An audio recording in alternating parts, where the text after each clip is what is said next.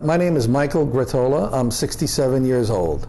On my 65th birthday, my boss at KPMG comes into my office, sits down, and proposes how we end my employment gracefully. And I'm looking with my eyes wide open, saying, I don't want to retire. I mean, I'm just beginning. I mean, I'm sorry, but I have lots of energy, right?